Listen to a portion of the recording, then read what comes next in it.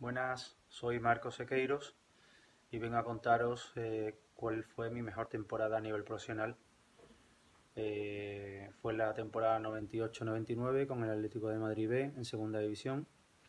Esa temporada veníamos de haber hecho una temporada buena manteniendo la categoría y manteniendo un gran número de jugadores para, tener un bloque sólido en esa categoría. Eh, en la entidad fue un año convulso porque deportivamente no fue bueno y, en, ese año cesaron al entrenador del primer equipo y, ascendieron a Carlos Aguiar para tomar la renda del primer equipo. Estuvieron alternando muchos jugadores del filial con el primer equipo y yo por edad si subía, ya que tenía 25 años no podía volver a bajar.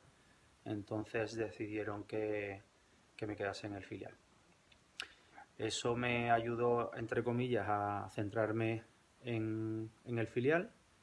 El cargo de Carlos Aguiar lo cogió Zambrano, que, que me dio muchísima confianza y gracias a eso logré ser el máximo goleador de la segunda división con 25 goles, junto con Cataña.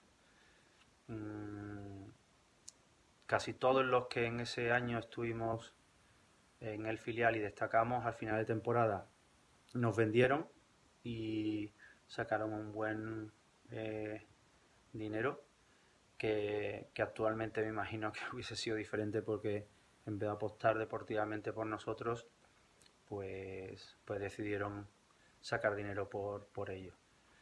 Y al año siguiente fue cuando desgraciadamente bajó el Atlético de Madrid a segunda división. Entonces, bueno, y, nada, esa fue mi mejor temporada, eh, lo que conllevó a una venta a la Unión Deportiva Las Palmas y al año siguiente ascendimos con Las Palmas a Primera División, que es un, objetivo que siempre ellos habían tenido en mente.